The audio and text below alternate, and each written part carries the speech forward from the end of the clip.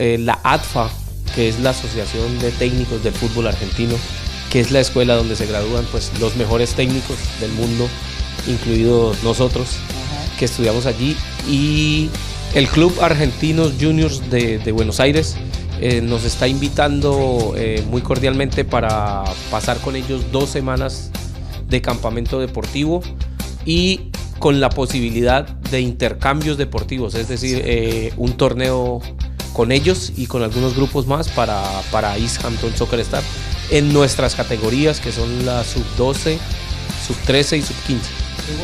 Quiere decir que van a viajar unos 30 chicos. Yo pensaría que podrían ser más de 30 chicos porque entre los dos, entre los tres equipos hay más o menos unos 45 jugadores.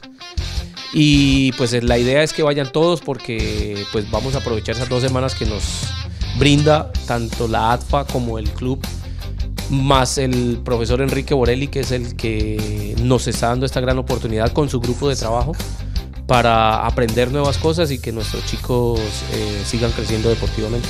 Buenísimo, bueno, yo tuve la experiencia personal de viajar con ellos y realmente para mí fue una experiencia muy muy buena, muy rica. Y sobre todo que no solamente van a jugar fútbol, sino también que visitan museos, otras canchas de fútbol, otros estadios, eh, y además eh, aprenden a desenvolverse muchas veces que viajaron solitos los chicos en Holanda, algunos, a, pesar de tener la compañía de otros padres, pero realmente es una experiencia maravillosa.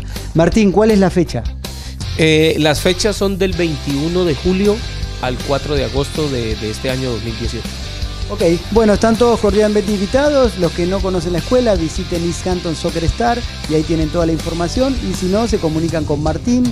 Y yo creo que la mejor referencia son los papás, que hay muchos seguidores que los niños han viajado en los distintos viajes que hizo la escuela. Y es la mejor escuela en el área que se encarga no solamente de la parte deportiva, sino también de la formación como personas. No solamente eh, que los forma como buenos deportistas, sino también como buenas personas.